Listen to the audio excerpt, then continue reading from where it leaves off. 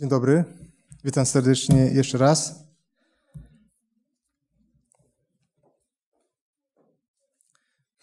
Dzisiaj będę chciał mówić o pewnym temacie, który, który w naszym kościele kiedyś o nim częściej mówiono.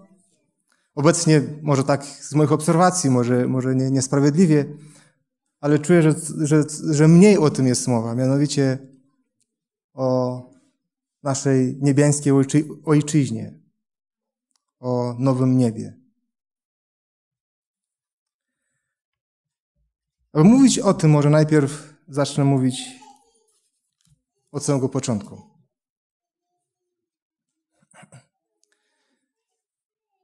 Pan Bóg postanowił, że stworzy coś niesamowitego. Coś, co może leżało w, głęboko w jego sercu, w jego umyśle. I stworzył ziemię. Ziemia na samym początku była chaosem i, i postanowił w pierwszym dniu stworzyć światło. My dzisiaj mówimy, że światło to życie. Rzeczywiście, światło to życie. W drugim dniu Pan Bóg stworzył wody. Wody, które były na sklepieniu i wody, które były pod sklepieniem. Znaczy mówiąc niebo i morze. W trzecim dniu Pan Bóg stworzył ziemię. Znaczy mówiąc, wyłonił ziemię z wody. I wszystkie rośliny, które dzisiaj rosną na ziemi.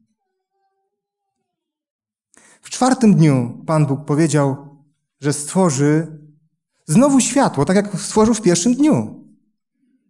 Jako paralelny do pierwszego dnia jest czwarty dzień. I wtedy Pan Bóg stworzył słońce, księżyc, gwiazdy, aby świeciło nad światem.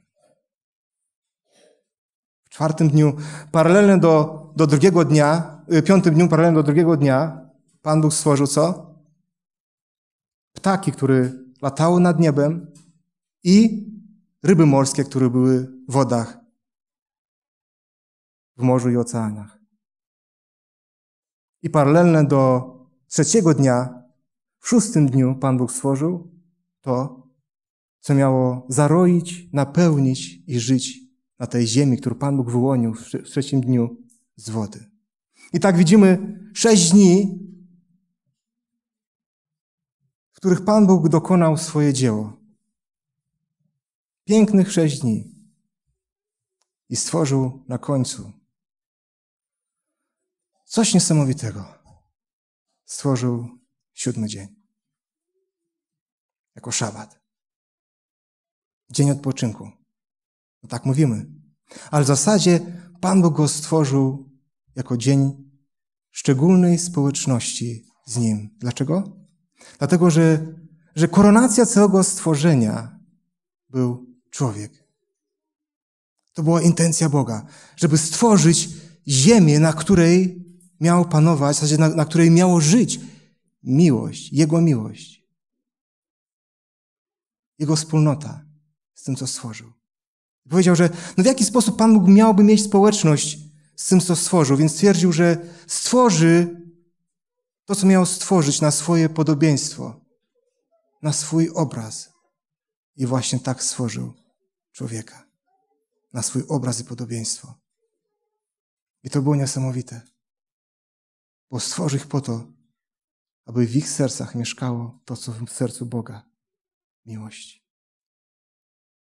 Dlatego powiedział, że jako dzień inauguracji tej wspólnoty z Bogiem będzie szabat.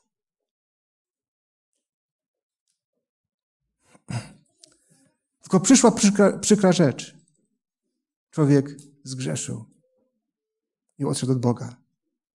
I Pan Bóg wiedział, że musi zmienić ten świat wspaniały, który stworzył człowiekowi. Musi go zmienić. Więc Pan Bóg wygnał ich z tego doskonałego środowiska, z tego doskonałego miejsca, jakie był ogród, ogród Eden. I wtedy człowiek już nie miał bezpośrednio dostęp do drzewa żywota, i wtedy człowiek nie miał tak bezpośredniego dostępu do obecności Boga. Ale jednak pozostał szabat.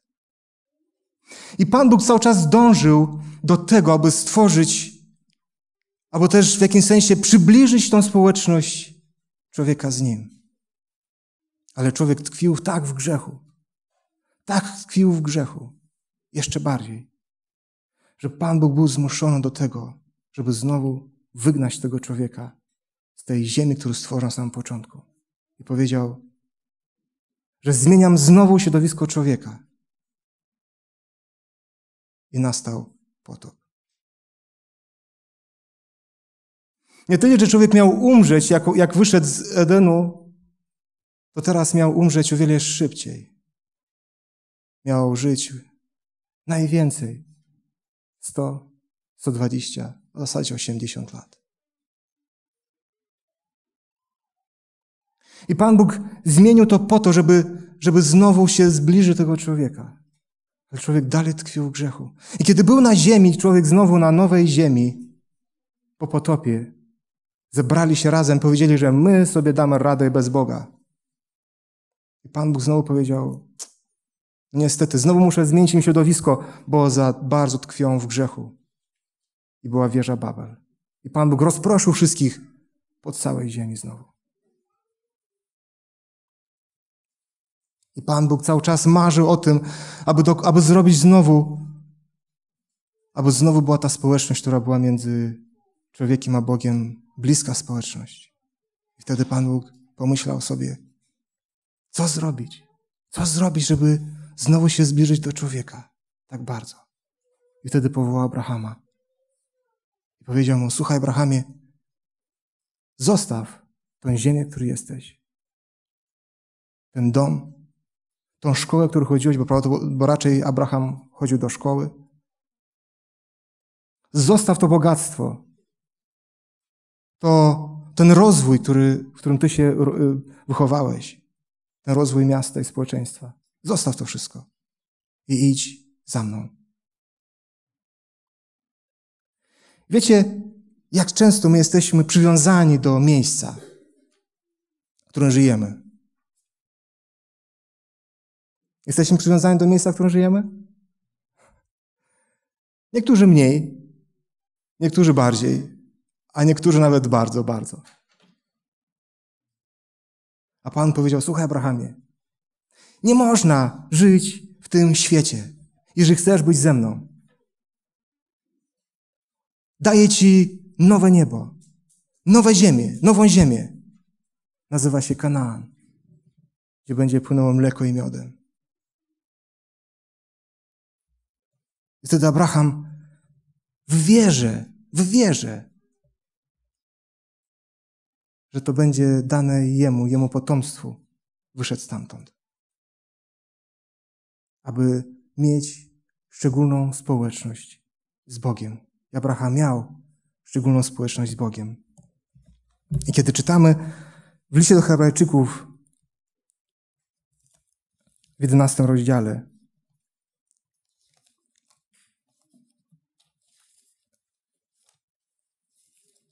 I tam trzynasty i czternasty werset. Wszyscy oni poumierali w wierze, nie otrzymawszy tego, co głosiło obietnicę, lecz ujrzeli, ujrzeli i powitali je z dala. Wyznali też, że są gośćmi i pielgrzymami na ziemi, bo ci, którzy tak mówią, okazują, że ojczyzny szukają. To jest mowa nie tylko o Abrahamie, w ogóle o wszystkich patriarchach. Ale oni szukali ojczyzny. Wiecie, Pan Bóg nas stworzył do, do, do społeczności z Nim. Pan Bóg nas stworzył do tego, żebyśmy mieli ojczyznę.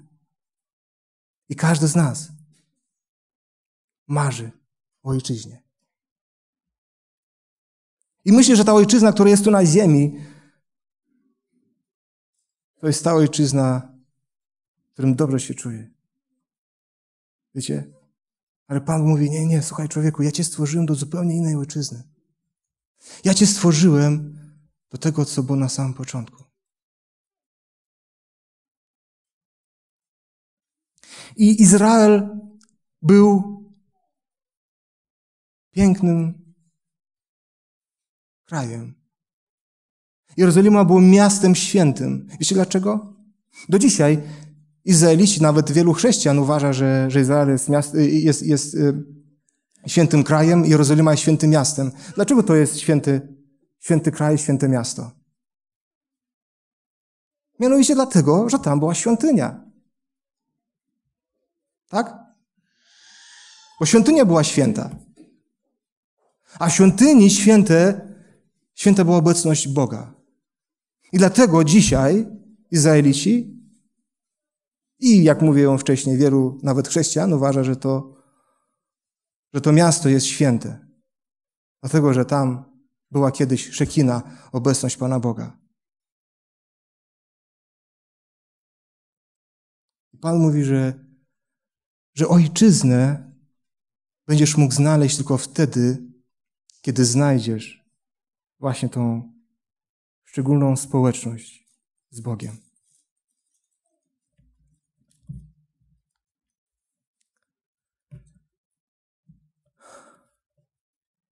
No właśnie. I kiedy Pan Bóg zobaczył cały ten świat, który jest dzisiaj, który go kocha, powiedział, że tak nie będzie. Tak nie będzie, dlatego że ojczyzna tych, którzy są na nowo stworzeni, będzie nowa ziemia.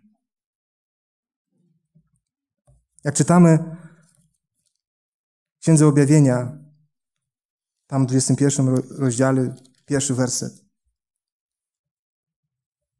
I widziałam nowe niebo i nową ziemię, albowiem pierwsze niebo i pierwsza ziemia przeminęły i morza już nie ma. Pan Bóg stworzy nowe niebo i nową ziemię. I mianowicie Bóg jest ten, który obiecał, że będzie wszystko inne na nowo. Dlatego, że Jego największe pragnienie jest to, aby stworzyć nam na nowo ojczyznę. Ojczyznę, gdzie będziemy szczęśliwi. W pełni szczęśliwi. Te teksty, które czytałem, ten tekst, który czytałem przed chwilą, jest tekst w zasadzie cytowany przez Jana z 65 rozdziału Księgi Izajasza. Może otwórzmy nasze Biblię na, na Księgę Izajasza, 50, 65 rozdział.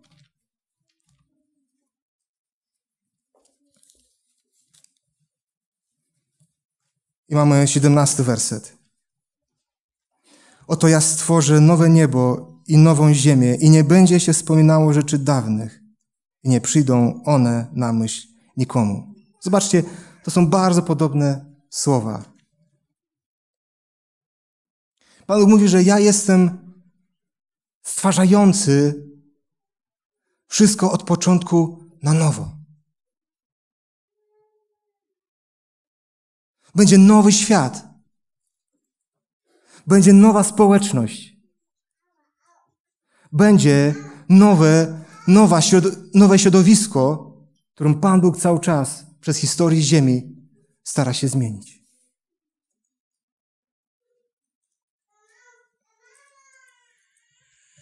I kiedy Izraelici mieli nową, nowe państwo, kiedy mieli Jerozolimę, to wtedy oni mieli szczególną społeczność z Bogiem.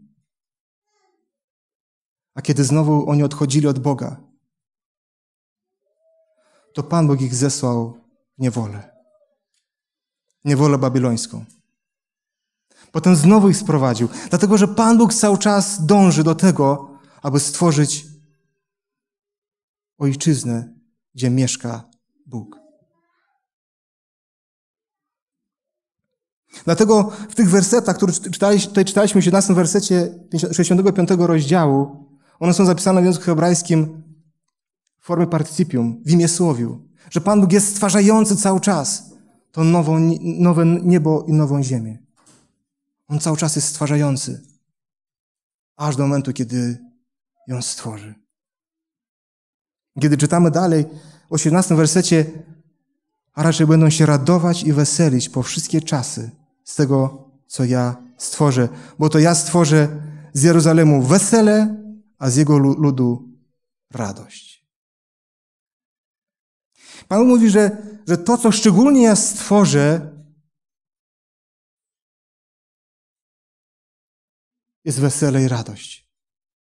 Na tym polega stworzenie nowego nieba i nowej ziemi. I kiedy wrócimy do objawienia 21 rozdziału i kiedy czytamy drugi i trzeci werset i czwarty zresztą, już, już myśmy czytali, widziałem miasto święte, Nowe Jeruzalem, wstępujące z nieba od Boga, przygotowane jak Przeozdobiona oblubienica dla męża swego i słyszałam donośny głos stronu mówiący, oto przybytek Boga między ludźmi i będzie mieszkał z nimi, a oni będą ludem Jego i sam Bóg będzie z nimi i otrze wszelką łzę z oczu ich i, i śmierci już nie będzie, ani smutku, ani krzyku, ani mozołu nie będzie, albowiem pierwsze rzeczy przeminęły. To są dokładnie te same myśli, tylko mówiące w negacji. Tu w Izajaszu jest napisane, że będzie radość i wesele, a tam jest pokazane, co znaczy, że że, że, że będzie radość i wesele, czyli nie będzie smutku, nie będzie łzy, łez, nie będzie więcej śmierci i tak dalej.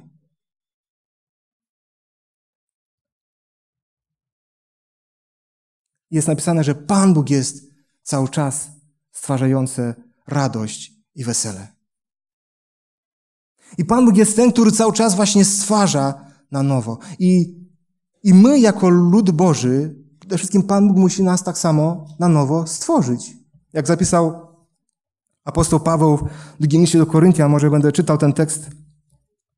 Drugi list do Koryntian, piąty rozdział, siedemnasty werset.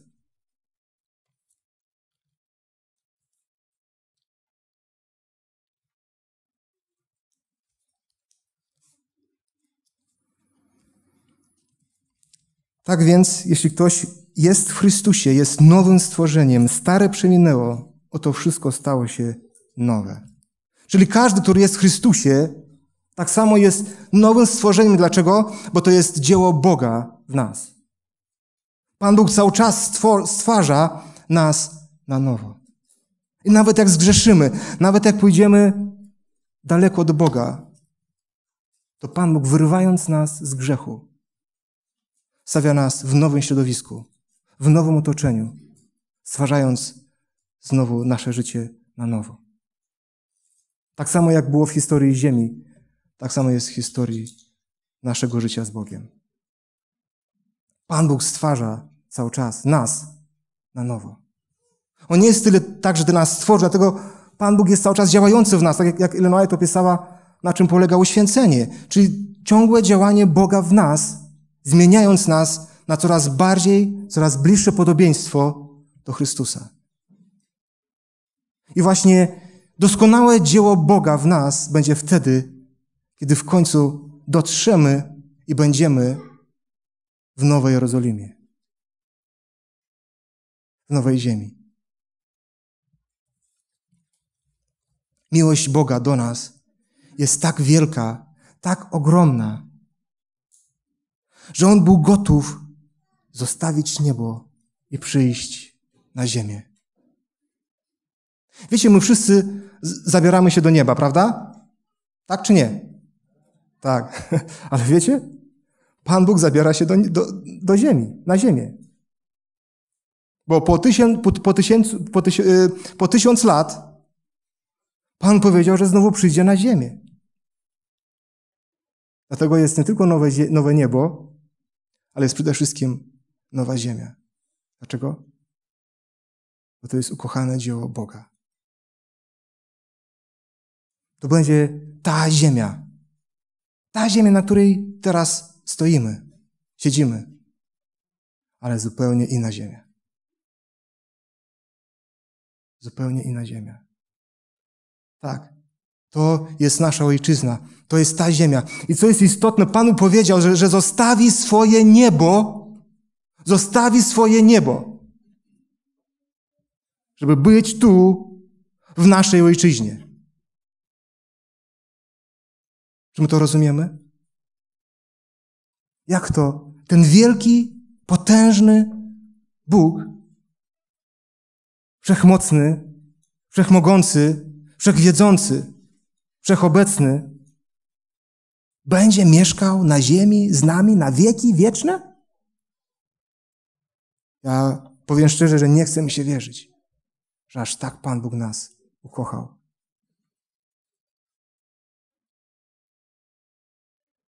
I co jest istotne, Pan powiedział, tak jak jest zapisane tu w 66 rozdziale Księgi Zajasza, może ja będę czytał 22, 23 werset. Bo ja, bo jak nowe niebo i nowa ziemia, które ja stworzę, staną się przede, przede mną, mówi Pan, tak ostoi się wasze potomstwo wa i, i, wasze imię i będzie tak, że w każdym nów i w każdy sabat przychodzić będziecie i każdy człowiek, aby mi oddać pokłon, mówi Pan. Co jest naj, najbardziej niesamowite, że Bóg nie tyle, że będzie tu na ziemi, ale On powiedział, że będzie podlegał, tak jak my ludzie, czasowi, znaczy mówiąc, Pan Bóg będzie miał szabat na nowej ziemi. Będą szabaty. Bo cały, cały ten uniwers, cały ten, ten wszechświat nie podlega czasowi. A Pan powiedział, że, że tak chce społeczność z człowiekiem. Tak chce być z nami, że powiedział, że będą szabaty. I każdy będzie przychodził do Boga. I będzie czcił Boga w szabaty. I co jest istotne? Ta, to marzenie Boga, by być z nami, to jest coś niesamowitego. Wiecie, w, tym, w tej wielkości, niesamowitości Boga, Pan Bóg zarazem jest bardzo, bardzo pokorny. To jest coś niesamowitego. Tak jak Jezus skłonił się umyć nogi swoim uczniom i stał się sługą aż do śmierci. On takim jest, będąc wszechmogącym i królem królów, panem panów. Stał się sługą. Dlatego on stał się naprawdę sługą człowieka. Aby człowiek mógł znaleźć swoją ojczyznę. Mógł znaleźć to pragnienia bycia z Bogiem. Może, może wróćmy do 21 rozdziału Księgi Objawienia. Tekst od pierwszego do, piąte, do piątego wersetu 21 rozdziału jest zapisany w formie koncentrycznej. Czyli to, co znajdujemy na początek wersetu, to będzie na końcu. I tak stopniowo, co będzie y, po kolei, y, na przykład już w drugim wersecie, to będzie już w czwartym wersecie, a środek jest centrum kulminacyjne, czyli to, co było, to, co jest najważniejsze w przekazie, który Jan chciał dla nas dać. Jak widzimy, zobaczcie, w piątym wersecie mamy i rzekł ten, który siedzi na tronie, oto wszystko nowym czynie i mówi, napisz to, gdyż słowa te są pewne i prawdzie. Piąty werset mówi, że będzie wszystko na nowo, będzie Bóg wszystko, wszystko na nowo uczynie. I tak samo widzimy czwarty werset, który mówi o tym, że otrze wszelką łzę.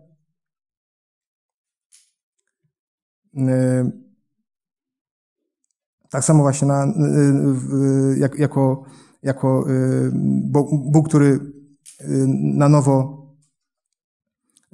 y, stwarza nowy świat. A trzeci werset pokazuje to, po co Pan Bóg to wszystko dokonuje. I trzeci werset mówi tak. Usłyszałem donośny głos tronu mówiący, oto przybytek Boga między ludźmi.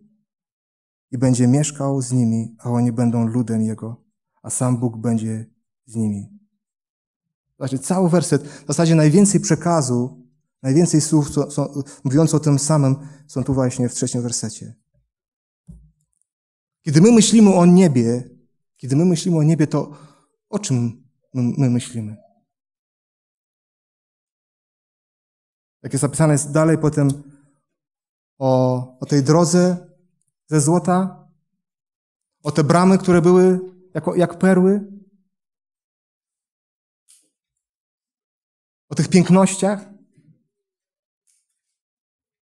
Wiecie, dla Boga to Nowy Jeruzalem przede wszystkim jest społeczność Jego z nami.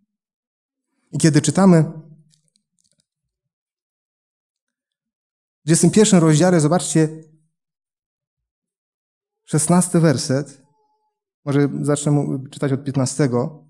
A ten, który rozmawiał ze mną, miał złoty kij mierniczy, aby zmierzyć miasto jego bramy jego, i jego mur. A miasto jest czworokątne, długość jego taka sama jak szerokość. I mierzył miasto kijem mierniczym na 12 tysięcy stadiów. Długość jego i szerokość i wysokość są równe. Zmierzył też mur jego, który wyniósł 144 łokcie według miary ludzkiej, którą się y, posłużył anioł. Jeruz miasto Jeruzalem będzie miało tyle wysokości, ile szerokość i długość. Czyli jakim będzie? Sześciokąt, tak? Sześcian. Sześcian. Dlaczego Nowy Jeruzalem będzie sześcianem? Czy ktoś wie? Nam dzisiaj jest trudne do wyobrażenia, chociaż możliwości technologiczne dzisiaj pokazują, że, że rzeczywiście takie miasto może nawet powstać. Ale dla Boga najważniejsze jest to, żebyśmy rozumieli, że dokładnie tak samo skonstruowane, konstruowane było miejsce najświętsze w świątyni. Czyli tam, gdzie była Szekina, gdzie była bezpośrednia obecność Boga.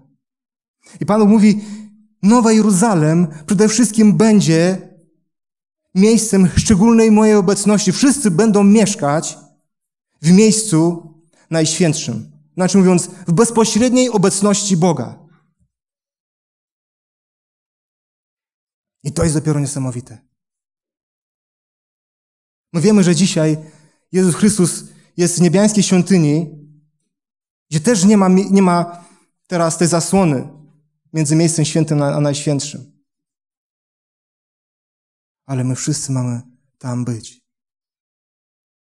Jezus będzie naszym światłem. Jak zapisano tu dalej, że nie będzie już więcej słońca ani księżyca. Dlaczego? Dlatego, że Bóg będzie naszym światłem. Bóg będzie, tak jak na samym, na samym początku, Bóg będzie naszym życiem, podtrzymywaniem naszego życia. Czy słońce, które jest obecnie, zgrzeszyło? Dlaczego Pan Bóg więcej powiedział, że nie będzie tego słońca? Owszem, będzie ziemia, a nie będzie słońca.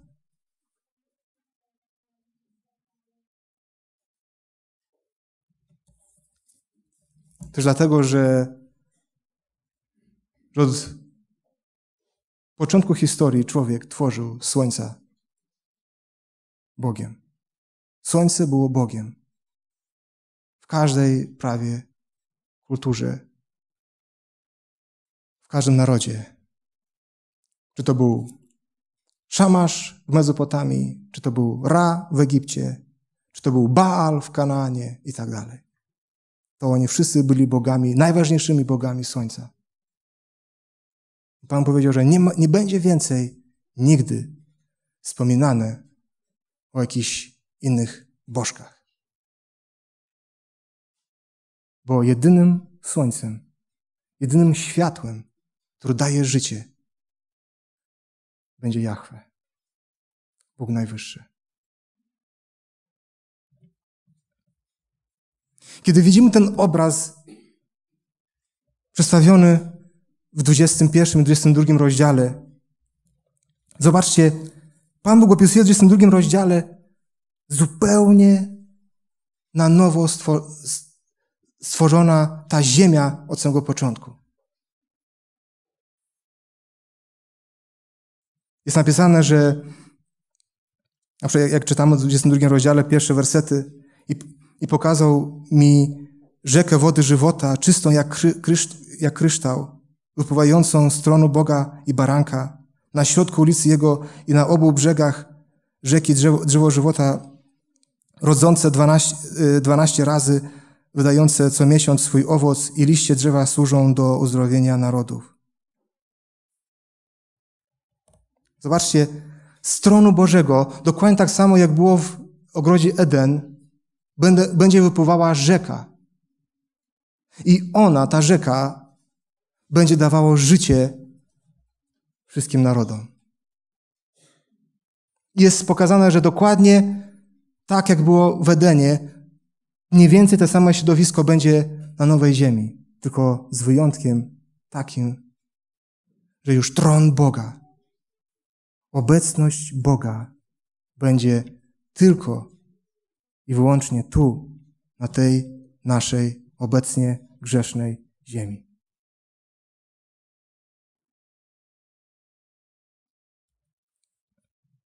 Czy chcesz mieć tą ojczyznę? Czy chcesz, aby, abyś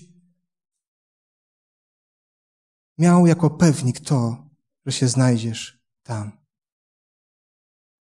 w tym wymarzonym miejscu? Wiecie, my na różne sposoby opisujemy tą, tą nową ziemię. Naprawdę na różne sposoby. Niektórzy mówią, a to tak, to takie miejsce, gdzie będzie naprawdę, no tak za bardzo, yy, za bardzo święcie to będzie. Tylko anioły będą latały wokoło i w zasadzie będziemy się nudzić. My często tak myślimy. Ale wiemy, że opis mówi o nowej ziemi, że jest napisane, że to, co oko nie widziało, nie ucho nie słyszało, to przygotował dla nas Bóg. Inaczej mówiąc, to, co w zasadzie nie spodziewamy się. Dlatego też nie starajmy się w jakikolwiek sposób wyjaśnić, na czym będzie polegało to, nowe, to nowa ziemia i nowe niebo, dlatego że to będzie coś, gdzie ja będę się czuł najlepiej. Dlatego, że to będzie miejsce, gdzie będzie rzeczywiście moją ojczyzną. To będzie miejsce, gdzie kiedy raz będę, będę zawsze pragnął być tam. Gdyby tylko zobaczę to miejsce, to więcej nie wrócę. Tak jak te osoby, które może były, widziały to miejsce, to nie chciało zejść na ziemię w zasadzie. Wiesz dlaczego? Bo to jest tak wspaniałe miejsce. Dopiero, dopiero wtedy się czujemy, że, że tam możemy być spełnieni. Tam może być moje największe szczęście. Dlatego Jezus powiedział, że, że zasadzie to nowo, nowa, nowe niebo i nowe, nowa ziemia. Kiedy On przyszedł tu, na ziemię, powiedział, że będzie pośród was i was będzie. Sam Jezus był nazywany Emanuelem, czyli Bóg z nami. On był marzeniem pokoleń. Jezus, będąc z nami, pokazał rzeczywiście, marzeniem tak samo Jego to jest społeczność z Ojcem. I tak samo pokazał nam, że marzenie nasze powinno być społeczność z Jezusem Chrystusem. Kiedy uczniowie go zapytali, Panie Boże, a jak będzie tam w niebie? Czy będzie pięknie? Jak to będzie? Wiecie? Wtedy Jezus powiedział im takie słowa zapisane Ewangelii Jana, 14 rozdział, pierwsze wersety.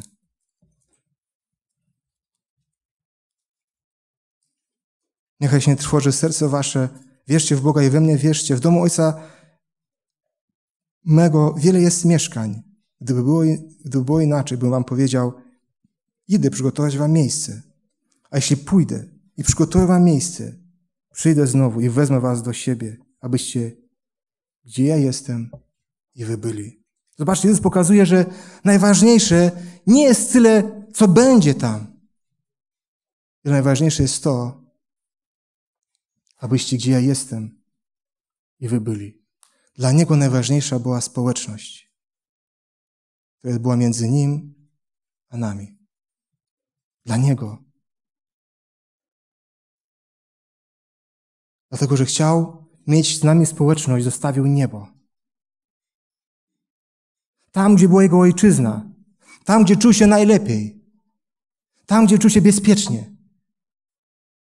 Tam, gdzie był w objęciach Ojca. Zostawił to wszystko po to, żeby mieć społeczność z nami. Żeby stworzyć nam ojczyznę. I powiedział: Słuchajcie, ja idę, ja idę do nieba, ale będzie ktoś, kto, kogo zostawiam na moje miejsce Ducha Świętego. I on będzie obecnością Boga pośród Was. I dopiero z, z Duchem Świętym, mając społeczność z Duchem Świętym, mamy społeczność z Bogiem.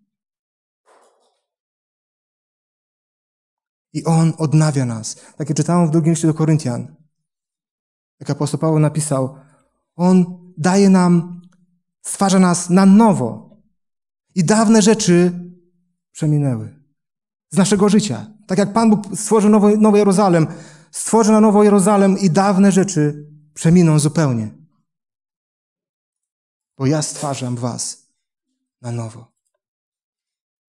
Chcę mieć taką, taką, taką społeczność z Bogiem?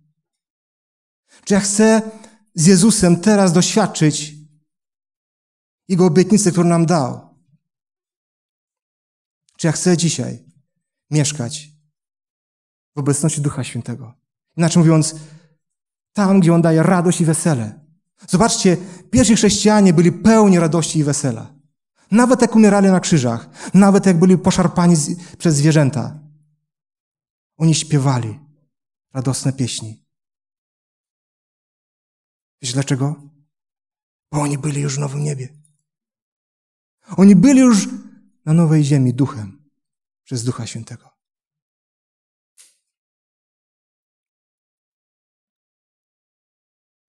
Pan Bóg chce stwarzać nas codziennie, stwarzać nas codziennie na nowo przez Ducha Świętego, aby w nas było wesele i radość. Nawet jak spotyka nas grzech, niepokój, łzy, śmierć. Czy ja żyję tym? Czy ja żyję Nowym Jeruzalem? Czy ja żyję to, że Pan Bóg stwarza na nowo ten świat i stwarza na nowo tak samo mnie codziennie? Czy ja żyję tym, co będzie tam w niebie? Czy ja żyję społecznością z Jezusem dzisiaj, teraz? Bo dla Niego największe marzenie było to, aby być ze mną, być z Tobą. I nawet nie upierał się śmierci na krzyżu. Tylko po to, żeby mieć z Tobą społeczność. Tylko po to, że marzenie o nowej niebie, o nowym niebie, o nowej ojczyźnie stała, stało się rzeczywistością Twoją. Czy rozumiemy, jak się poświęcił Bóg dla nas? Czy rozumiemy, ile Pan Bóg zrezygnował po to, żeby stworzyć na nowo nam nowe niebo i nowe ziemię? Czy rozumiemy, że Jego miłość jest tak niesamowita? Jego miłość jest tak wszechogarniająca, że moim marzeniem być tam, gdzie jest Jego miłość. Amen.